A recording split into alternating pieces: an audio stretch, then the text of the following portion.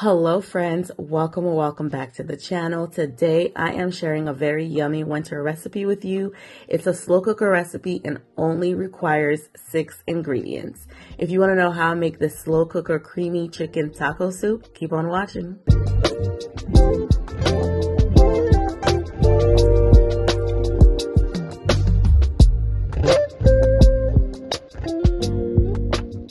So this video is a What's for Dinner collaboration with a bunch of wonderful YouTubers. It is hosted by Angel McMillan.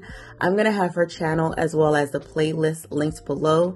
So be sure to check out everyone's video if you need some ideas of what to make for dinner tonight. To make this delicious soup, you're going to need two boneless, skinless chicken breasts, about a pound of chicken, one can of chili style beans. You can use any type of canned beans, but the chili style is perfect for this recipe because it adds a lot of nice flavor to it. One can of whole kernel corn, one and a half cup of water, one cup of jarred tomato salsa, two teaspoons of taco seasoning, half a cup of heavy cream, and salt and pepper to taste.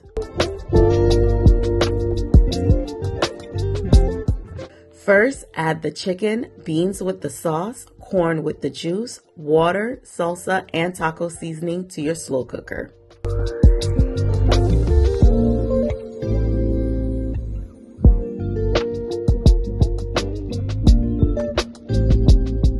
You're gonna go ahead and cook it on low for four hours.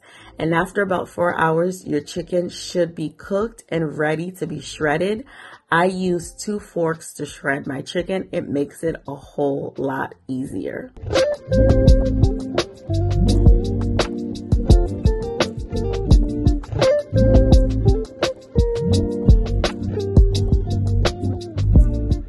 After shredding, add your chicken back to the slow cooker and then go ahead and add your heavy whipping cream. Now I love cream and I wanted my soup to have a really rich and creamy flavor. So I did go ahead and add a little bit more than what was required by the recipe. But guys, it came out so, so, so, so good and just how I like it.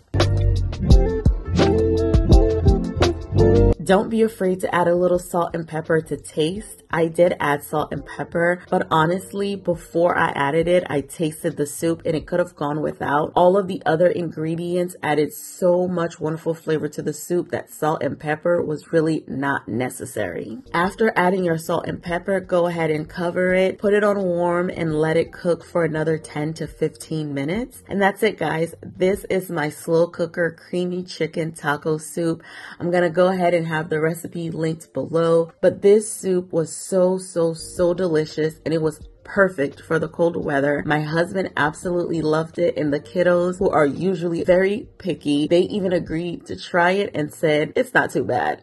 So guys, don't forget to check the description for the playlist to find videos of all the YouTubers that are part of this collaboration. They're sharing what's for dinner at their house tonight. Don't forget to check them out. Thank you so much for watching this video. Thank you for subscribing if you are new and I'll definitely see you in the next one. Bye.